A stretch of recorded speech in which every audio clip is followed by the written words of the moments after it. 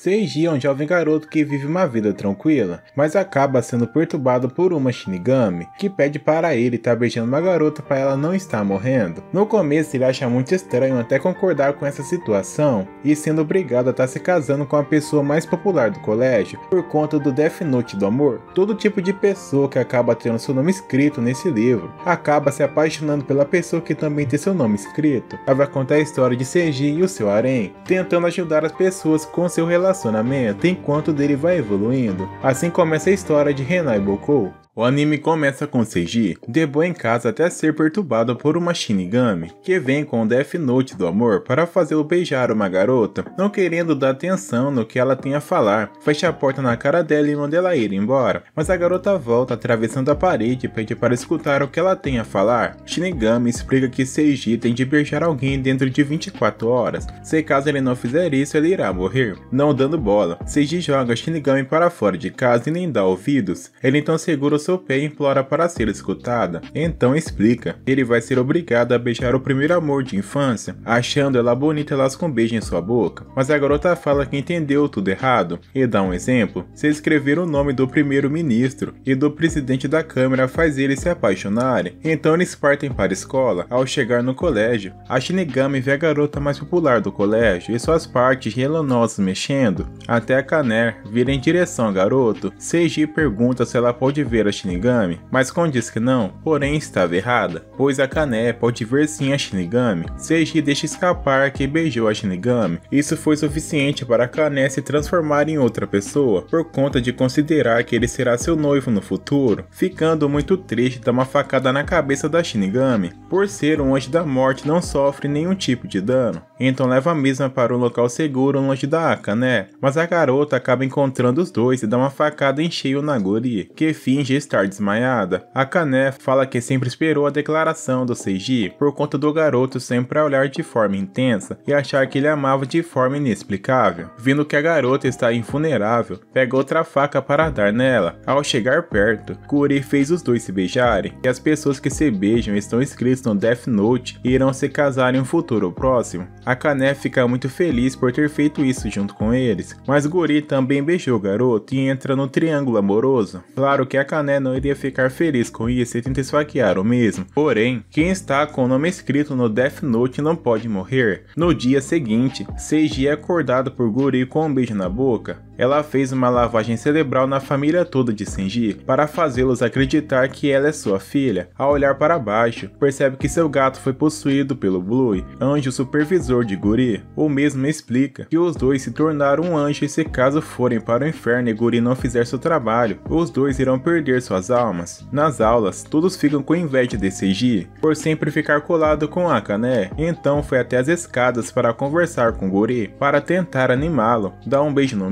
mas de repente são surpreendidos pela Yuzu, irmã mais nova de Akane, que também é apaixonada por ela. Yuzu descobriu sobre o caderno e tentou escrever nele para se casar com Akane. Guri explica que somente anjos podem escrever nesse caderno e pessoas normais não. Akane vê a intimidade entre Seiji e Yuzu e decide matá-la, mas ao ser chamada pelo primeiro nome, larga todas as facas e fica emocionada por ele ter feito isso. Yuzu explica que Akane quer seus sentimentos pelo Seishi são apenas por causa do livro, e Uzu fala que a Kané tem seus sentimentos apenas pelo livro e não pelo Seiji, mas a garota explica que não é por isso. Ela sempre amou o menino, por ter achado a cena muito bonita. Guri decidiu colocar o nome dela no triângulo amoroso, e para isso tem que beijar alguém que está no triângulo. Ela então sai correndo, mas sem querer tropeça e acaba beijando Seiji. No dia seguinte, a Kuar, irmã de Seiji, finalmente chegou da excursão. Logo o garoto pergunta se já conheceu o Guri. Ela condiz que não sabe quem é essa garota. Ao ser tocada pelo seu irmão, dá um golpe no mesmo e o deixa imobilizado. De repente, a Kane aparece na casa do mesmo o encontra sendo jogado para fora, pegando sua faca para defendê-lo, e ele explica que é sua irmã, para tentar evitar qualquer confusão e não deixar uma má impressão para sua cunhada tacar a faca longe, mas a Kua não quer nem saber dos romances de seu irmão. Guri e Uzu formaram uma fila para realizar o romance de todas as pessoas.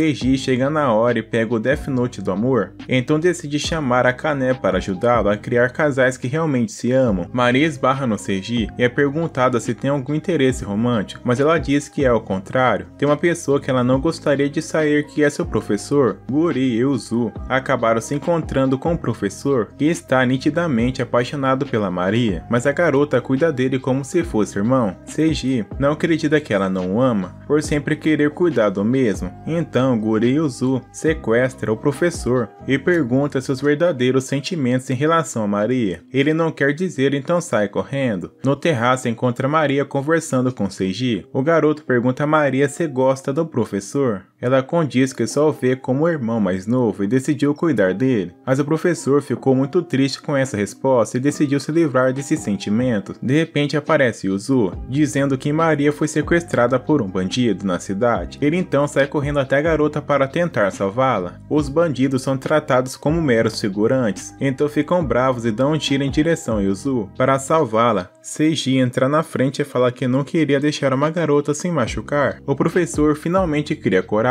e parte para cima e acerta o murro em cheio, mas por ser muito fraco não consegue sequer causar dano. Quando parecia tudo acabado, aparece a Kané para salvar a pátria por conta de terem acertado um tiro de raspão no Seiji. Ela ficou maluca e partiu para cima de todos eles, dizendo que só ela pode machucá-lo. Depois a Kané ter derrotado todos os bandidos, o professor se declara para Maria para dar uma chance a seus sentimentos depois que ela sair do colégio. Ela então condiz que esse sempre foi o plano, esperar a sua formatura para eles acharem um emprego melhor, pois os professores ganham muito mal. Tem um sonho com seu irmão de ter sido salva de um demônio pelo Senji. Ao acordar, troca de roupa e caminha para a escola, mas encontra Yuzu e Guri no caminho. Yuzu pergunta a ela sobre os podres de Senji para contar a sua irmã e fazê-la parar de andar com Senji, mas a garota fica brava por terem falado do seu irmão. Olhando para trás, percebem que o mesmo demônio que apareceu no sonho de Aqua surge, sai correndo atrás da garota para tentar se defender. Sobe em cima de uma árvore, porém, o monstro surge no local, querendo acasalar com Aqua. Prestes a ser capturada pelo demônio, aparece Seiji pedindo para pular no seu colo, igual quando eram crianças. Fazendo isso, o demônio bate a cabeça na árvore e desmaia, assim sendo preso pelas autoridades. Ao chegar em casa, Guri gosta muito de um mangá e quer ver um novo lançamento. Após a inauguração do novo mangá, eles vão até a praça. No local, encontram um homem que iludiu diversas mulheres, mas eles acabaram descobrindo a cachorrada e bateram nele até deixá-lo só de cueca. Uma das amantes deixou a vela cair e pegou fogo no Death Note. No dia seguinte, a Kané está ignorando o Seiji.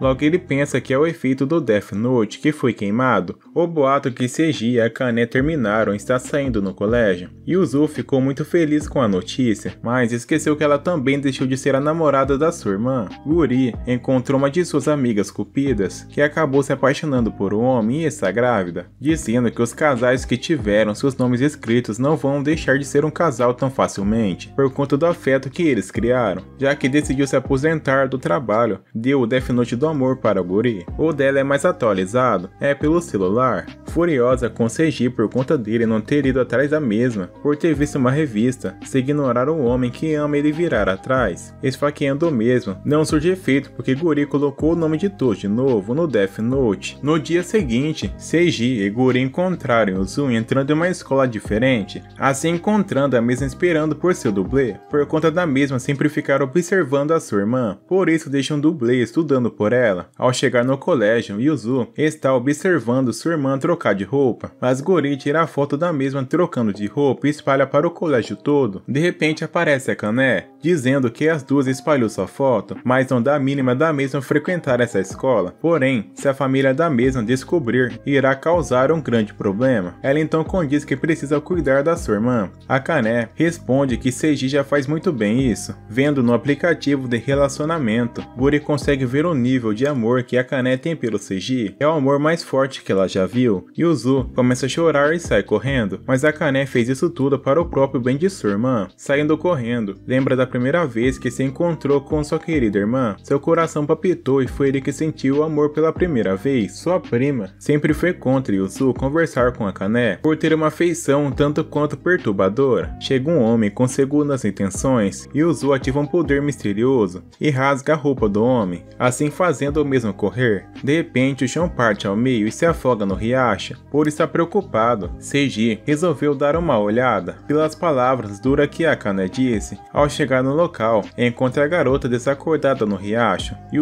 desabafa por conta da sua irmã amar uma pessoa que nem sequer sabe o motivo que a fez apaixonar e dá um tapa na cara de Seiji. De repente, Akane parece muito preocupada com o garoto. Yuzu se declara para sua irmã. Com um sorriso, Akane fala que pode fazer o que quiser. Yuzu fica muito feliz com isso, mas no fundo tem uma garota observando tudo o ocorrido. No dia seguinte, a Shikami, a mesma menina que estava no fundo, pediu ajuda de Guri para ajudá-la a conquistar a pessoa que ama e ficar junto para sempre. No final do dia, viu Shikami no lado de fora e decidiu acompanhá-la até sua casa. Ao chegar no local, percebe que está abandonada e caindo aos pedaços. Shikami fala a descrição da pessoa que está gostando e bate com a DCG, que pisa em falso e acaba sendo grudado em um chiclete. Shikami mostra sua verdadeira aparência e revela ser a prima de Yuzu e Akane, e quer roubar Seiji delas. Akane está muito preocupada com o garoto e pergunta o nome da pessoa que ele saiu. Gori responde que é Shikami. Akane sai correndo sem olhar para trás. A cena muda para para os dois, Seiji está sendo torturado pela Shikami por conta da mesma gostar de sentir a aparência de dor. De repente aparece Akane quebrando a porta e atacando Shikami diretamente, que roubou todas as facas de Akane. Shikami é viciada em roubar as coisas que as pessoas mais gostam, já que Akane ama Seiji, quer fazê-lo se tornar seu. Akane tem uma faca no seu cabelo, assim conseguindo acertar a mesma de raspão, faz um leve ferimento que a fez surtar, por gostar de sentir dor, por ter uma habilidade secreta,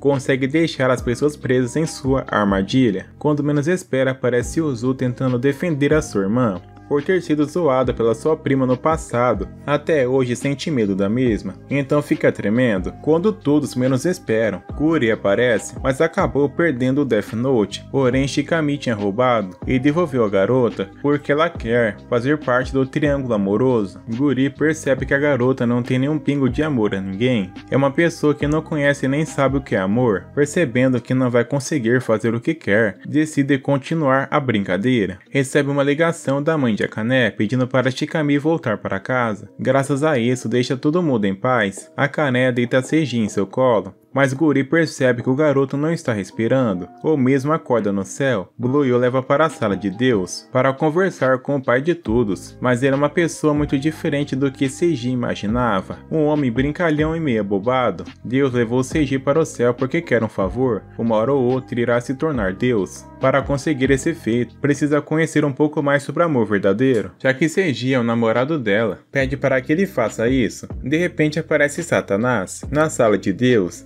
Satã também quer Guri, porque ela tem aparência e personalidade que ele gosta e certamente o inferno irá ser lotado se tiver ela do seu lado. Deus e Satã começam a brigar de forma amigável, mas ele fica assustado pelo horário e decide levar o garoto de volta para a Terra. Se caso atrasar mais um pouco, não será capaz de voltar à Terra dos vivos. Ao acordar, Seiji fica se perguntando se pode mesmo ensinar Guri sobre o amor. No dia seguinte, Seiji decide convidar sua irmã para ir à praia pensando que a mesma dizeria não, só não esperava. As garotas iriam juntos à praia. Ao chegar no local, Guri não gosta de lugares quentes, então decide ficar nas sombras enquanto joga videogame. Seiji tenta se enturmar com Akua. Cada vez mais, ela se distancia das outras pessoas. Sem querer, duas meninas acertaram a bola na Guri, tentando devolver sem querer acerta na cesta de basquete da Kané, assim arrumando briga com a mesma. Guri não sente o perigo e decide desafiar a Kané Kané para uma partida de vôlei, enquanto Seiji pega comida para todos. Não esperava que Shikami estaria trabalhando na praia. Shikimi leva o mesmo para um lugar afastado e decide tirar o cabaço do garoto. Não aproveitando a oportunidade, fala que não deve oferecer seu corpo tão facilmente para as pessoas. Shikami não entende o que quer dizer e chama o garoto de virgem e não sabe como a Kané gostou de alguém como ele. Quando era criança, a Kané não sorria. Shikimi sempre gostou da mesma dessa forma, do jeito que a mãe de Akane criou, então decide explicar sobre a sua família, a família Kishogazaki,